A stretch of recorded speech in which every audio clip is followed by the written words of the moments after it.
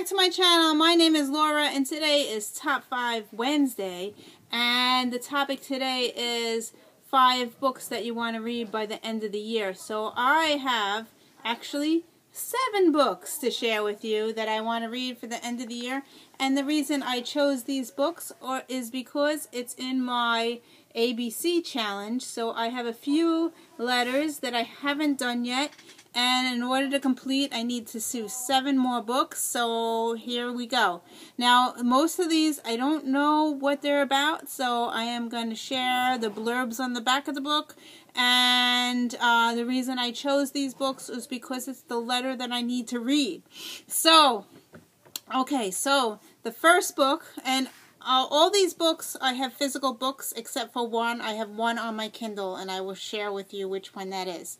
So the first book that I chose, I have to do the letter E. And the first book is End of Days by Susan E. E. And this is book three of the Angelfall series. I already read book one and book two and I gave them five stars. So I'm hoping that this won't be as good as those three, those other two that I read. Um, this one is about angels, and they are bad angels. Uh, they're not your typical um, very good angels. These are bad angels, and uh, it's really, really good. So I'm hoping that this one will uh, stay in the five range. So I have a hard time reading series, as I always say. I love the beginning, and then the end I don't like. So I'm praying that this one's a good one. So that's this one. Okay, Going to letter J. Letter J, I what I did was I went on my Goodreads group and I went to all the books that I want to read and books that I own. And I took the folder and I looked for all the J books, which I hardly had any. Um, but I did choose this one. I chose Just What Kinds of Mother Are You by Paula Daly. And I really don't know what it's about, so let's read the little blurb. It says, Your friend's child, your responsibility, your fault. And that's what it says on the very bottom. And let's read the little bit of the back. International phrase, uh, praise for just what kind of mother are you? Uh, the very definition of a page turner, the sort of book that causes you to lose half a day without even noticing. Savor every page because this will probably be your book of the year. So it sounds really interesting. A crackling good read, an intense, gritty, and heartbreaking roller coaster ride. Hypnotic and harrowing right up to the pulse pounding and unforgettable. So that's all that I read on the back. And yeah, it seems pretty interesting, so I'm hoping that this will be a quick read, and this is for my J. Okay. Now, the next book is the one that I have on my Kindle. And the book that I want to read, I will put the picture here. um, it's called Kind Worth Killing. And I'm going to read the little blurb from Goodreads. It's a devious and psychological suspense involving sex, deception, and an accidental encounter that leads to murder.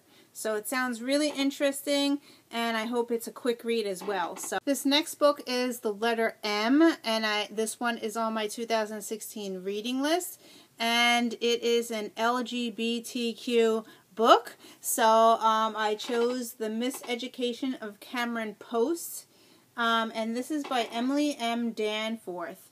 Um, and this was rec recommended for me to read by a YouTuber. So um, I don't really know much about it. So I'm going to read a bit ab about the back. And it says, when Cameron Post's parents die suddenly in a car crash, her shocking first thought is relief. Relief they'll never know that hours earlier she has had been kissing a girl. But that relief doesn't last, and Cam is forced to move in with her conservative Aunt Ruth and her well-intentioned but hopelessly old-fashioned grandmother. She knows that from the, this point on, her life will forever be different. Survival in Miles City, Montana means blending in and leaving well enough alone, and Cam becomes an expert at both.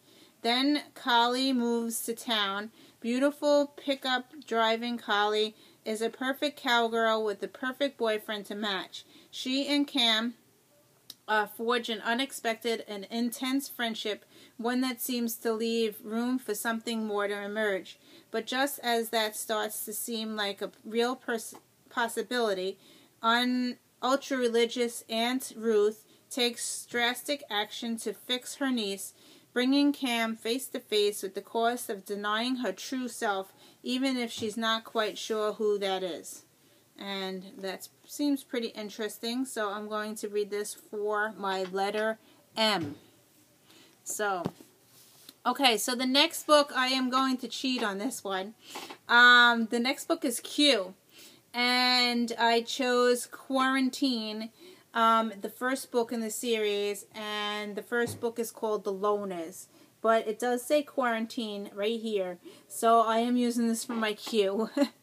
Um, and this one um, is a YA book, um, and it says, as original, The Hunger Games, um, and uh, set in within the walls of a high school exactly like yours. Um, that's what it says on the very first blurb on the top. And on the back it says, A Modern Day Lord of the Flies. It was just another ordinary day at McKinley High until a massive explosion uh, devastated the school.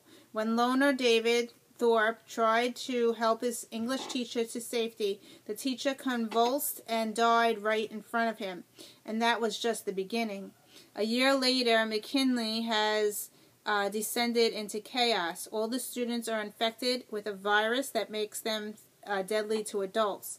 The school is under military quarantine. The teachers are gone. Violent gangs have formed based on high school social cliques. Without a gang, uh, you're as good as dead. And David has no gang. It's just him and his little brother, Will, against the whole school. In this frightening, dark, and captivating novel, uh, Lex Thomas locks readers into a school uh, where kids don't fight to be popular, they fight to stay alive. So it sounds pretty interesting, so I'm hoping to read this for my letter Q. Okay, so I was in Barnes and Noble and I said to the guy at the desk, I said, I need an X and I also need a Z. So my last two books are X and Z and my ex, I'm not sure I'm going to like. Uh, but I do have an X book. And the book that he chose for me was Exonocide by uh, Orson Scott Card and this is a science fiction book, so I'm not sure I'm going to like it. Um, and it says um, science fiction, and the Hugo nominated national best-selling sequel to um, Ender's Game and Speaker for the Dead. I don't know. Um, and on the back, I'm just going to read the very top blurb. The war for the survival of the planet Lastenia will be fought. I can't even see my, I don't have my glasses. In the heart of a child named Gloriously Bright.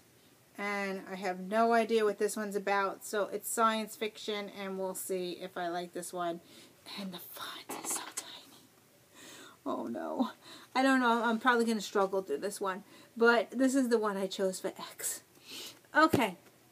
And the last book is a letter Z. And I read this author before, and I liked uh, his book.